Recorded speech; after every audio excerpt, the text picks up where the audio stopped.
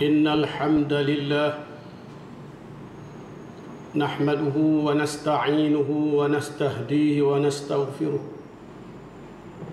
ونعوذ بالله من شرور أنفسنا ومن سيئات أعمالنا. من يهد الله فلا مضل له ومن يضلل فلن تجد له وليا مرشدا. ونشهد أن لا إله إلا الله وحده لا شريك له. ونشهد أن محمدا عبده ورسوله. اللهم صل وسلم على حبيبنا وشفيعنا وسخرنا ومولانا محمد بن عبد الله وعلى آله وأصحابه ومن اقتدى بتعاليمه واستنى بسنته إلى يوم الدين. أما بعد فيا عباد الله أوصيكم ونفسي بتقوى الله وطاعته.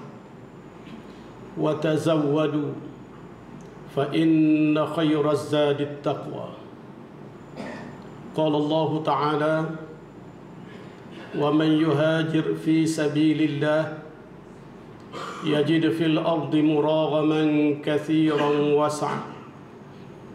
ومن يخرج من بيته مهاجرا إلى الله ورسوله ثم يدركه الموت فقد وقع أجره على الله وكان الله غفورا رحيما.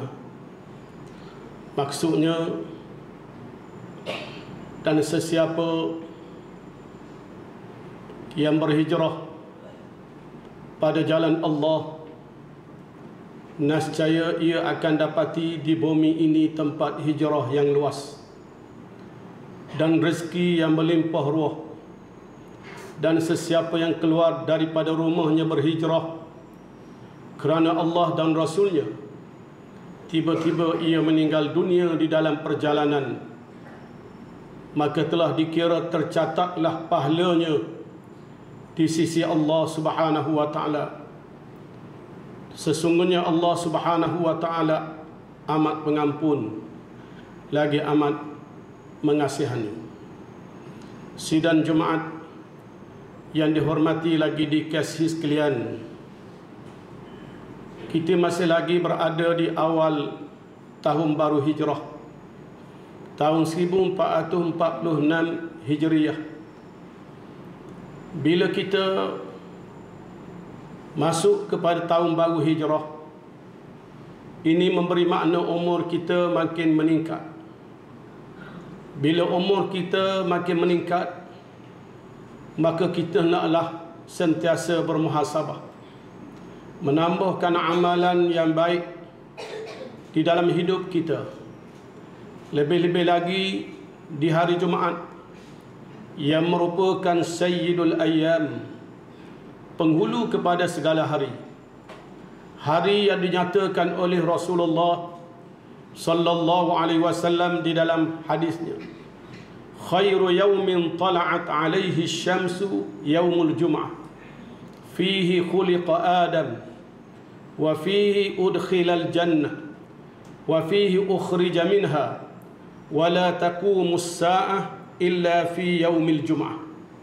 Maksudnya hari yang paling baik yang terbit fajar padanya ialah hari jumaat. Pada hari jumaat Allah mencipta Nabi Adam alaihi salatu wassalam. Dan pada hari jumaat Allah masukkan Nabi Adam ke dalam syurga. Dan pada hari jumaat juga Allah keluarkan Nabi Adam daripada syurga turun ke dunia dan tidak akan berlakunya kiamat malaikat pada hari Jumaat. Pada hari Jumaat yang mulia ini baiklah sama-sama kita bermuhasabah menghitung dan menghisap diri kita apakah yang telah kita lakukan di tahun sebelum daripada 1446 Hijriah. Dan apakah tekad dan dalam diri kita, keazaman kita untuk kita melipat gandakan melipat gandakan amalan kita pada tahun ini dan juga seterusnya. Inilah pesanan Sayyidina Umar ibn al-Khattab radhiyallahu anhu. Hasibu anfusakum qabla an tuhasabu wazinu a'malakum qabla an tuzanu. Hendaklah kamu hitung diri kamu sebelum diri kamu dihitung di hadapan Allah Subhanahu wa taala. Dan hendaklah kamu timbang amalan kamu sebelum daripada amalan kamu ditimbang di hadapan Allah Subhanahu wa taala. Kalau kita hitung diri kita sekarang kita masih lagi mempunyai ruang dan peluang untuk memperbaiki segala kesilapan yang telah kita lakukan. Untuk kita perbaiki amalan-amalan kita ke arah yang lebih baik. Tetapi kalau kita alpa tidak sentiasa muhasabah kita akan menyesal. Dan inilah yang digambarkan oleh Allah di dalam Al-Quran. Orang yang nak mati minta supaya diri mereka ditangguhkan barang sekejap untuk mereka melakukan amalan yang soleh. Tetapi pada waktu itu sudah tidak ada peluang lagi. Wa anfiqu mimma razaqnakum min qabli an ya'tiya ahadakumul maut fa yaqula rabbi laula akhartani ila ajalin qarib fa asaddaqa wa akum minas salihin. Dan belanjakanlah dermakanlah sebahagian daripada harta yang kami kurniakan kepada kamu sebelum daripada mati menemui seseorang daripada kalangan kamu. Dan pada waktu itu orang yang telah sampai waktu ajalnya akan memohon kepada Allah dengan menyatakan wahai Tuhanku kalaulah engkau lewatkan sedikit saat kematianku kalau boleh bagilah tempoh sekejap. Laula akhartani tolong pelewat sikit. Ila ajalin qarib sekejap aja nak buat apa orang nak mati minta tempoh sekejap supaya ditangguh waktu kematian Adakah mereka nak bertemu dengan kawan-kawan yang lama mereka tak bertemu? Tidak. Apakah orang yang nak mati itu menunggu anak-anak mereka yang belum sampai balik ke rumah? Tidak. Mereka minta tempoh untuk melaksanakan dua perkara disebut dalam Quran. Yang pertama fa'as-saddaqah. Saya nak sedekah. Dia tak ingat anak dah, dia ingat nak sedekah. Yang kedua wa akum minas salihin. Saya nak jadi orang soleh. Orang soleh ni orang baik orang yang patuh kepada titah perintah Allah Subhanahu wa taala. Dalam tafsir disebut kenapa orang nak mati ni dia minta dua perkara. Kerana pada waktu itu orang nak mati ni diperlihatkan kepada mereka. Mereka dah nampak di antara perkara yang boleh menolong mereka ialah yang pertama sedekah. Yang kedua amalan yang soleh. Jadi orang soleh. Orang yang lemah dia nak kepada pelapung. Dia tidak nak pada harta. Maka pelapung kepada orang yang nak mati Nak sedekah Kerana dia nampak dah ganjaran sedekah Yang kedua wa akum minas solihin Nak jadi orang soleh Orang soleh ni Bahasa kita orang berjuruh lah Orang berjuruh ni orang yang taat kepada Allah Taala. Atas dunia kadang-kadang Kita Tak jadi orang soleh Dan bukan setakat kita tak jadi orang soleh. Kadang-kadang kita membenci orang-orang yang soleh. Tapi bila mati Kita nak jadi orang soleh. Sebab itu waktu kita masih hidup Yang pertama kita kena jadi orang soleh. Dan yang kedua Kita kena bergaul Bersama-sama Dan ada sikap kasih sayang kepada orang-orang yang soleh. Kerana amalan yang soleh ini Berguna kepada kita Apabila kita meninggal dunia Bahkan amalan yang soleh Jadi orang yang juru ni Berguna dunia dan juga akhirat Sidang jemaat yang dihormati lagi dikasih sekalian. Begitu juga disebut dalam ayat yang lain permohonan orang yang telah mati. Tadi orang yang nak mati. Orang yang telah mati minta supaya dikembalikan semula.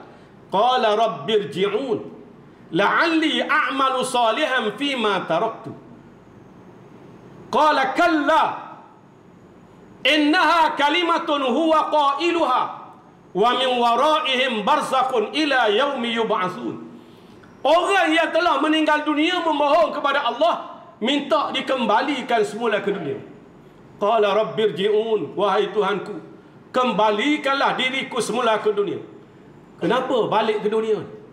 Kerana rindu kepada kawan-kawan? Tidak. La'alli a'malu salihan fima taraktu. Kerana saya nak buat amal soleh yang saya tinggal. Waktu saya hidup di dunia, saya tak pedulikan amalan yang soleh. Tak penting amalan yang soleh ni bagi saya. Waktu saya hidup dulu. Lalu Allah menyatakan kalla tidak sekali-kali. Bila mati, tak hidup semula. Tengoklah sejarah nenek moyang kita yang mati tak balik belakang. Orang baik mati tak balik, orang jahat pun mati tak balik. Tak balik belakang. Innaha kalimatun huwa qailuha. Ianya adalah semata-mata kalimah yang terbit daripada mulut mereka. Mereka ucap, mereka tahu dah. Memang minta pun tak boleh baik. Tak boleh balik dah. Wa min waraihim barzakhun ila yaumi yub'atsun. Kerana di hadapan mereka tak ada alam dunia dah, alam barzakh. Alam kubur ni alam barzakh. Sehinggalah mereka dibangkit menghadap Allah Subhanahu wa taala. Oleh kerana itu, maka rebutlah peluang waktu kita masih hidup sebelum daripada kita mati. Sebab itu Rasulullah SAW nasihat kepada Abdullah bin Umar. Abdullah bin Umar ni anak kepada Umar ibn al-Khattab. Kata Abdullah bin Umar, akhadha Rasulullah sallallahu alaihi wasallam bimankibi thumma qala kum fid dunya ka'annaka gharibun aw 'abiru sabilin wa kana ibn Umar yaqul idza amsayta fala tantazir as-sabah wa idza asbahta fala tantazir al-masa wa khudh min sihhatika limaradika wa min hayatika li mautik. Ini dalam hadis yang sahih. Di mana kata Abdullah ibn Umar Rasulullah pegang bahuku. Mesranya Rasulullah dengan para sahabatnya sebelum nasihat Rasulullah pegang bahu.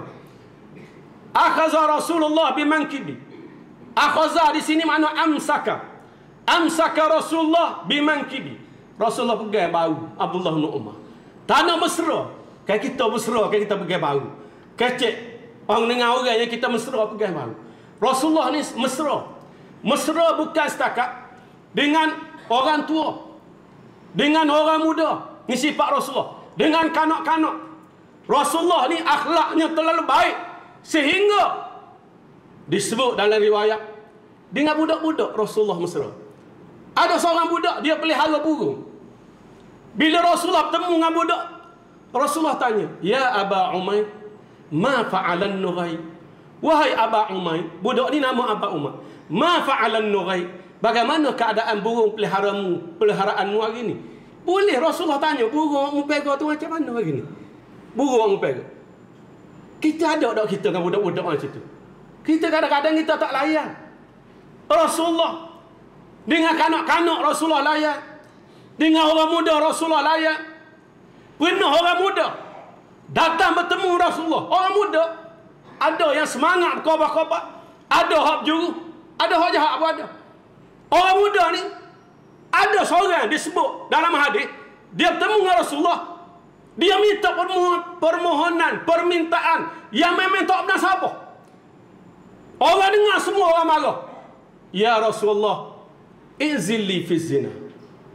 Wahai Rasulullah. Boleh dah izin saya nak berzina. Orang muda. Sahabat-sahabat Rasulullah pergi nak nak buku. Orang muda ni apa ni kau ajar cakap dengan Nabi ni? Tapi Rasulullah kata jangan. Rasulullah kata panggil dia balik. Panggil dekat lagi. Ha. Bukan Rasulullah kata halau budak ni kau ajar dak. Rasulullah kata panggil dekat. Budak tu lagi. Budak muda. Rasulullah tanya. Atuhibbuhu li ukhtik? Kalau orang berzina dengan saudara saudari perempuan kamu suka tak? Tengok cara Rasulullah. Kalau orang berzina dengan adik-beradikmu, mu suka ke tak? Qala la, eh dia kata, saya tak suka. Kalau berzina adik-beradik abang betul. Rasulullah kata, "Fakadzalikan nas la yuhibbunahu li akhawatihi." Kalau kamu tak suka orang berzina dengan adik-beradikmu, maka orang lain pun dia tak suka orang berzina dengan adik-beradik dia. Atuhibbuhu li ummik? Rasulullah tanya, adakah mu suka? Kalau orang zina dengan ibu kamu? Kalau lah, dia kata saya tak suka. Ha? Kalau orang zina dengan mak saya, saya akan pukul dia. Lalu Rasulullah kata, "Fakadzalikan nas la yuhibbunahu li ummahatihim." Kalau kamu tak suka orang zina dengan makmu, orang lain pun dia tak suka orang zina dengan mak dia. Lalu orang muda ni termenung. Menengung dia. Cara Rasulullah nasihat. Lalu Rasulullah doa pada orang muda. Allahumma tahhir qalbah wa hassin farjah. Ya Allah bersihkanlah hati pemuda ini. Dan Ya Allah tolong jagalah kemaluan dia. Bila Rasulullah doa, berkat doa Nabi, dia menjadi orang yang paling benci kepada perbuatan zina. Dan dia menjadi orang yang paling baik. Nak cerita akhlak Nabi. Siapa tak tu? Jadi sebab tu Rasulullah bila nasihat kepada Abdullah bin Umar, Rasulullah pegang atas bahu. Lalu Rasulullah nasihat, "Kum fid dunya ka'annaka gharibun." Wahai Abdullah, mu hidup atas dunia ni mu kena jadi serupa anak dagang. Orang berdagang. Orang berdagang negeri orang. Orang berdagang ni bukan orang tempat. Macam saya datang sini ni, ni bukan kapal saya, saya akan kelik. Ha, tu mana? Orang berdagang, walaupun dia pergi Kuala Lumpur, dia cari makan, dia berdagang. Anak dagang, dia akan balik. Perantau, perantau. Ha, istilahlah ni perantau. Ada duduk Kuala Lumpur, ada duduk Sabah, ha, ni ada duduk jauh, perantau. Lah ni ada persatuan anak perantauan. Raya dia balik. Dan dia tidak nak duduk jauh dah. Ah, ha, hidup atas dunia lagu tu lah. Nabi pesan kepada Allah bin Umar dan juga pesan kepada kita. Lagu. Awabiru sabilin ataupun orang yang beradu dalam perjalanan. Orang musafir tak siapa lagi tempat dia. Ah ni ini ini lebih lebih keadaannya berbanding dengan orang dagang, orang duduk dagang. Tu lama juga dia duduk. Ni orang beradu tengah jalan, beradu tengah jalan. Kita nak pergi Kuala Lumpur, kalau orang pasir mah dia beradu di Gua Musa. Beradu di Gua Musa tu dia di Kuala Lumpur. Kuala Lumpur pun tidak kabul dia. Dia nak klik pula. Ha, lagu tu. Hak pertama tadi Rasulullah sebut mu kena jadi sebab orang dagang. Hak ni mu kena jadi sebab orang berjalan lepas beradu tengah jalan. Atau hidup ada dunia lagu tu. Jangan kita terpengaruh dengan dunia sehingga kita jadi rusak. Itu maksudnya. Ya ayuhan nas Inna wa'dallahi haqqan fala taghurrannakumul hayatud dunya Wahai manusia sesungguhnya janji Allah adalah benar. Apa makna janji Allah? Manusia ni tak kekal atas dunia manusia akan mati. Itu janji Allah. Janji ini benar. Oleh kerana itu fala taghurrannakumul hayatud dunya Jangan sekali-kali kamu tertipu dengan dunia. Maksud jangan tertipu dengan dunia. Jangan atas dunia bila mu kaya tak ingat ke akhirat. Itu maksud. Bukan tak boleh kaya. Jangan atas dunia bila mu ada kuasa tak ingat ke akhirat. Jangan atas dunia bila mu rasa mu selesa mu tak ingat ke akhirat. Jangan lagu tu. Bahkan mu kena gunung kekayaan kamu atas dunia untuk kebahagiaan kamu di akhirat. Mu kena guna kuasa Peluang dan ruang yang Allah Ta'ala beri kepada kamu di dunia. Untuk kamu senang di dunia. Lebih-lebih lagi di akhirat. Itu maksudnya. Bukan maksud tolak dunia. Tidak. Jadi atas dunia ni. Pastikan. Apa yang kita nak buat. Kena betul dengan ajaran Allah SWT. Semua perkara. Start daripada individu. Masyarakat. Negeri. Negara. Turut kehendak Allah belakang. Itu. Jadi orang yang tidak ikut kehendak Allah, melanggar perintah Allah, lupa kepada Allah, orang ni orang yang terpedaya dengan dunia, tertipu dengan dunia, dia akan menyesali akhirat. Inna dunya hulwatun khadirah. Wa inna Allah mustakhlifukum fiha fayanzur kaifa ta'malun. Fattaqud dunya wattaqun nisa' fa inna awwala fitnati bani Israel kanat fin nisa Rasulullah SAW menyebut dalam hadis dunia ni mani Nabi sebut dalam syarah hadis disebut haulwatun fil mazak dunia ni kalau kecak dia berasa mani Nak oyak kehidupan dunia ni dari segi kecapai mana? Khadirah fil mar'a. Hijau, hijau dari segi pemandangan. Arti pemandangannya cukup mengembirakan. Ha, hijau ni kalau kita tengok pokok kita tanya pokok hijau, kita gembira. Ha, kita segar dunia ni tengok comel. Rasa sedap. Tu Nabi sebut. Wa inna Allah mustakhlifukum fiha. Allah Ta'ala latih kamu untuk menjadi khalifah di dunia. Untuk memamungkan dunia. Fayanzur kaifa ta'malun. Maka Allah Ta'ala tengok gapo hok mu buat. Tuhan bui harta, gapo buat harta. Tuhan bui pakak, gapo buat dengan pakak. Ha, Tuhan bagi mu sehat, apa buat waktu mu sehat. Ha, tu, Tuhan tengok belakang. Oleh kerana itu, fattakud dunia. Nabi sebut, naklah kamu beringat dengan dunia. Kena beringat. Ha, kena beringat. Berhati-hati, artinya, ambil hak halal, hak arah tolak. Buat hak Tuhan perintah, hak Tuhan larang, tinggal. Itu makna berhati-hati. Wattakun nisa, yang kedua, kamu kena berhati-hati dengan orang perempuan. Nabi sebut, Karena fa inna awwala fitnati bani Israel kanat fin nisa. Mula-mula fitnah yang menipu Bani Israel jadi rosak ialah laki orang perempuan. Ke orang perempuan. Ha ni mula. Maka kena beringat. Bukan kata tak boleh. Ha? Tak duduk sekali dengan orang perempuan. Isteri kita perempuan. Mak beringat hak halal. Hak halal. Punuh kerana perempuan ni ramah. Nabi sebut. Punuh kerana dunia ni ramah. Oleh kerana itu. Maka kita kena sentiasa dalam hidup kita ni. Kena jaga empat perkara. Perkara yang disebut dalam surah Al-Asri. Surah yang pendek. Surah Al-Asri ni. Imam Syafi'i sebut tentang surah Al-Asri. Kata Imam Syafi'i. Lau ma anzalallahu hujjatan ala khalqih illa hadhihi surah lakafathu. Kalaulah Allah Ta'ala tak waktu hujah lain dah. Kecuali surah Al-Asri saja Tuhan waktu mada dah. Quran ni ada 114 surah. Ada 1660 ayat. Ada 30 juzuk. Imam Syafi'i kata, kalau perdu takdir. Allah Ta'ala tu waktu dah surah lain. Waktu turun suratul asri soy. Lakafat hum. Mada dah manusia jadi juru. Manusia jadi molek dengan suratul asri. Apa? Kalau suratul asri ni, dia sebut empat perkara ini. Wala asri. Demi masa. Bapa Allah Ta'ala bersumpah dengan masa? Masa ni penting. Penting. Masa ni hukamat sebut al-waktu kasayfi illam taqta'u qata'an. Waktu ni derah supa dengan pedang. Tajam dia supa pedang, dia berlalu cepat. Kalau mu tak potong dia dia potong. Habis dah pagi tak tidak dah dah. Pagi esok pagi lain dah. Pagi lain dah. Tahun lepas, tahun lepas tak ada dah. Ni tahun ni, ni tahun lain dah.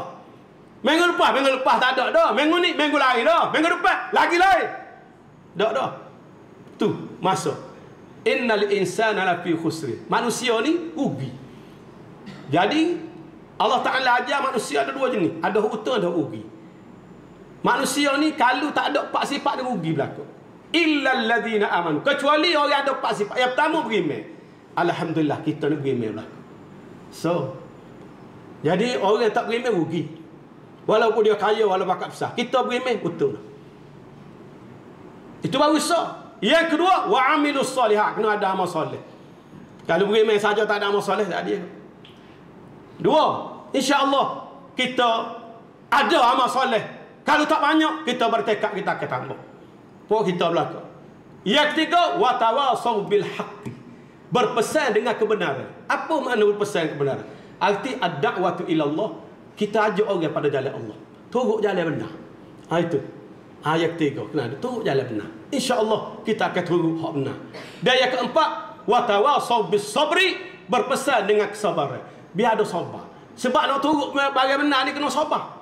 Ya ayuhalladzina amanu sabiru wasabiru warabitu wattaqullaha la'allakum tuflihun. Wattaqullaha la'allakum tuflihun. Eh orang beriman taklah kamu sabar. Dan sabar. Sabar buat huturan perintah. Wasabiru Sabar lagi Kena lebih lagi sabar Sabar untuk menentang orang yang sesat Yang tidak mahu kepada kebenaran. Kata kata ada Isbiru Isbiru ala ta'atillah. Wasabiru Wasabiru Ahlad dalalah. Kita kena lebih sabar lagi Berdepan dengan orang yang sesat. Nak betul orang sesat ni Payah dia tak mengaku sesat. Payah orang nak mengaku sesat ni. Ha. Kadang-kadang orang hok boleh, hok buta, dia tepuh dengan kita. Dia kata kita buta. Mana tak mengaku? Tepuh dengan dia. Padahal dia tak nampak. Dia kata tepuh orang, buta dia. Mana payah? Ini ini pesih manusia. Pesih manusia. Kita tak kata orang okay, sebab kita manusia juga pesih lagu tu. Jadi Allah Taala sebut kita kena sabar buat apa yang suruh, kena sabar depan dengan golongan-golongan yang tidak mahu kepada penarat warabitu dan kita kena kuat ke pertahanan rabitu arti al-jihad fi sabilillah berjuang Islam sebar Islam wattaqullah dan kena bertakwa kepada Allah la'allakum tuflihun supaya kaum mendapat kejayaan barakallahu li wa lakum fil qur'anil azim wa nafa'ni wa iyyakum bima fihi minal ayati wadh-dhikril hakim وتقبل مني ومنكم تلاوته إنه هو السميع العليم أقول قولي هذا وأستغفر الله العظيم لي ولكم ورسائل المسلمين والمسلمات فيا فوز المستغفرين ويا نجاة التائبين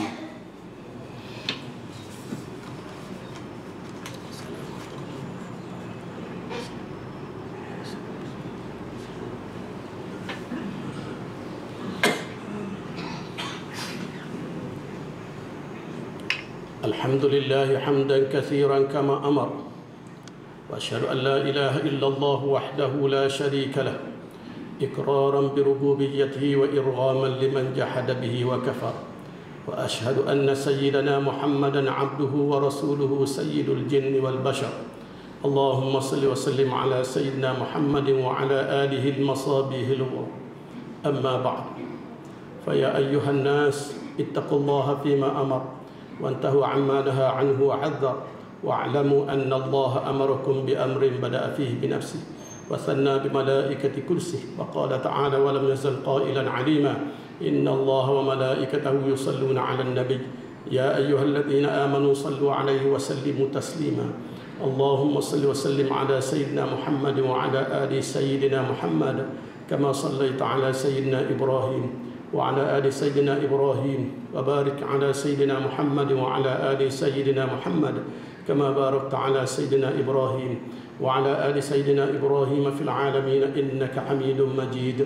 اللهم اغفر للمسلمين والمسلمات والمؤمنين والمؤمنات الأحياء منهم والأموات وألف بين قلوبهم وأصلح ذات بينهم وانصرهم على عدوك وعدوهم اللهم وفق ولاة المسلمين وأئمتهم لما تحبه وترضاه يا رب العالمين اللهم أيد بتوفيقك مدبر هذه الأقطار ومشيدها عندك حارس لشريعتك ملكنا سلطان محمد الخامس خلد الله ملكه وإحسانه وبلغه من الخير ما شاء اللهم أدم الشرع الشريف له ولوزرائه سبيلا ومنهاجا وارزقهم التوفيق لكل خير واجعلهم سراجا وهاجا اللهم انصر الإسلام والمسلمين وأهلك الكفرة والمشركين والمنافقين ودمر أعداءك أعداء الدين. اللهم انصر من نصر الدين.